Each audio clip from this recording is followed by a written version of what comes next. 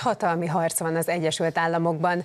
A demokrata képviselők benyújtották az elnök hatalomból való elmozdítását célzó indítványt a képviselőházban, bár Donald Trump elnököt valószínűleg nem tudják megfosztani hatalmától, az könnyen elképzelhető, hogy egyéb büntetéseket mérnek majd rá, például eltíthatják az indulástól a 2024-es választáson.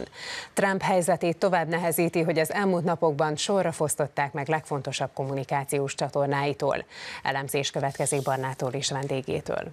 Köszönöm szépen. A külső stúdióban ott van Georg Sprötle, biztonságpolitikai szakértő, a Nézőpont Intézet elemzője. Jó reggelt kívánok! Jó reggelt kívánok, Barna, üdvözlöm a kedves nézőket!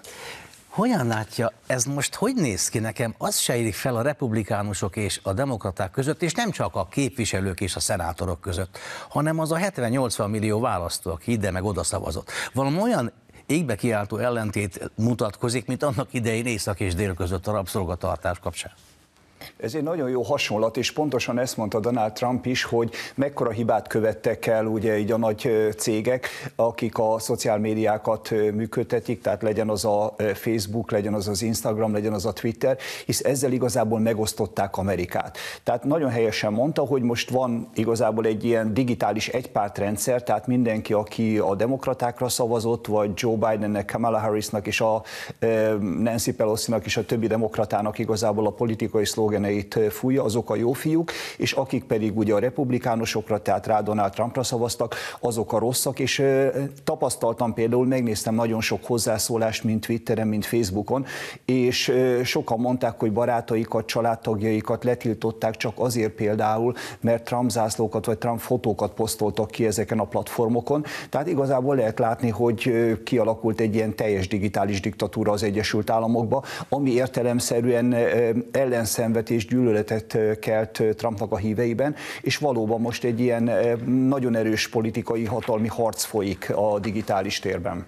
Az éjszaka Twitteren egy amerikai twittelező, twittelő írta a következőt, ezt mondja angolul, de lefordítom.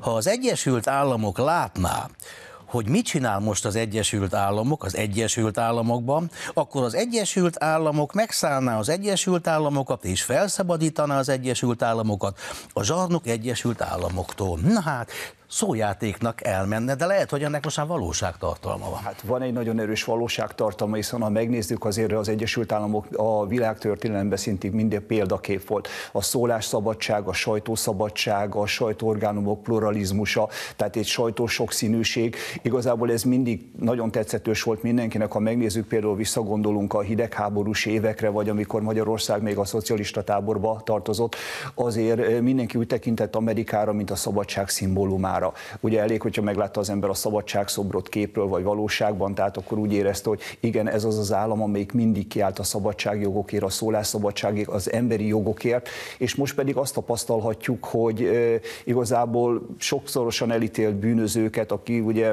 tragikus körülmények között életét veszette, George Floydra gondolok, azokat podesztre emelnek, utcát, teret neveznek el róla, szobrokat állítanak neki, és azok az emberek, akik valóban kiállnak az Egyesült Államokért, például a Trump szavazók, mint az a szegény sorsú nő is, ugye Ashley Elizabeth Babbitt, aki az életét vesztette a zavargásokban, azokról pedig igazából nem szólnak a hírek, vagy pedig hazai terroristának nevezte őket, például John Biden vagy Nancy Pelosi. Tehát nagyon megosztott az Egyesült Államok, és, és valóban így van, hogy az egyik rész az kezd elsüllyedni egy ilyen neomarxista, majdnem mondhatnánk, hogy, hogy kommunista ideológiában, amit a sajátjának tekint, és ott van ugye több tízmillió másik szavazó, aki pedig úgy érzi, hogy elcsalták a szavazást, és az ő politikai akaratukat most semmiben veszi. A bátorságról és a szabadságról, köszönöm, hogy említette, tehát az amerikai nemzeti himnusz utolsó sora is ott van. Ugye Home of the Brave and Land of the Free, a szabadság hazája, a bátorság hazája, a szabadság igen, bátrak hazája. Bátor, és a bátrak hazája. Na most azt mondja Nancy Pelosi, a képviselőház demokrata elnök, hogy meg kell indítani a második impeachment eljárást a Donald Trump ellen. Ez a, az lenne, ő lenne az első elnök, aki ellen kétszer is. Nem tudom, lesz rá idő, mert átlag ma szavaznak a képviselőházba, és a, a szenátus majd csak 19-én dönthetne róla kétharmados többsége, de hát 20-án meg amúgy is lejárna az elnök mandátuma, és jelezte, hogy nem fog elmenni a beiktatás. Mondjuk nem ő lenne az egyetlen, mert John Adams, John Quincy Adams és Andrew Johnson sem ment el, tehát volt merre példa. Igen, értelemszerűen, tehát főleg egy ilyen nem bizonyíthatjuk, hogy választási csalás, de vannak arra utaló jelek, tehát értelemszerűen Donald Trump nem fog erre elmenni.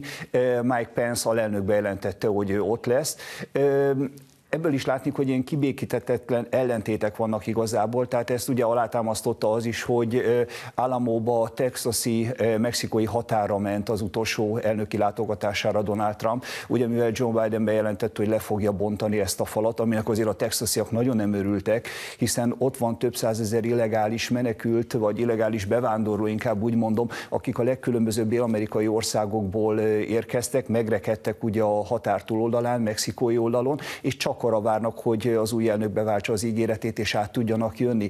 Tehát ez is e, igazából egy politikai ellentétet fog szülni az országon belül, mert azért a demokrata pártban is vannak olyanok, akik ellenzik a határfal lebontását, az illegális bevándorlást, és visszatérve még az impeachmentre, tehát ott sem biztos, hogy a demokraták közül mindenki szavazni fog. Kétséges mondjuk azért vannak a republikánus pártban is ugye ellenzői Trumpnak, ott is 10 és 20 között teszik azoknak a szenátorok számát, akik ezt az impeachmentet támogatni fogják, de nem biztos, hogy meg lesz a többség. Ugye a tét az elég nagy, tehát megtörténhet az is például, hogy eltiltják majd Donald Trumpot bármilyen politikai szerepléstől a jövőben, vagy ugye különböző ilyen az elnököknek, vagy a volt elnököknek járó kiváltságokat, például a személyi védelmet a Secret Service részéről, akár ezt is megtagadhatják tőle. Ugye akár az elnöknek járó végkielégítést, illetve nyugdíjat, bár hát ugye egy milliárdosról beszélünk, ez őt annyira nem érdekelné, de valóban egy olyan mérvű politikai politikai lejáratás folyik ellene, amilyet még az Egyesült Államok történelmében nem tapasztaltunk. Itt végszóra, mi a helyzet a fekete életek számítanak mozgalommal? Kicsit lecsendesedett, de azt mondják, hiszen szükségállapotot hirdetett Trump elnök a beiktatás idejére, mert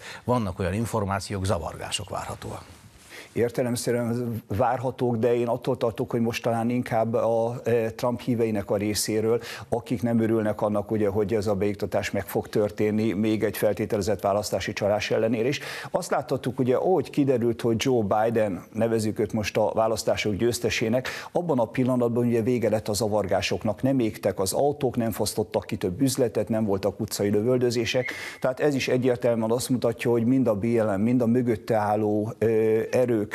Ugye itt nagyon-nagyon csúnya szervezetek vannak, ilyen neomarxista szervezetek, akiket közvetlen vagy akár közvetve George Soros is támogat. Ott van például ugye az a hölgy, aki már 1983-ban egyszer robbantott, egy pokolgépet helyezett el a Kapitolban, és most például ő az egyik BLM képviselő, aki például pénzeket kalapoz nagy cégeknél a, a BLM-nek, csak ezekkel a pénzekkel most érdekes módon több mint 3 millió dollárral nem tudnak elszámolni, hogy hova tűnt, tehát az érintettekhez valahogy nem ment el.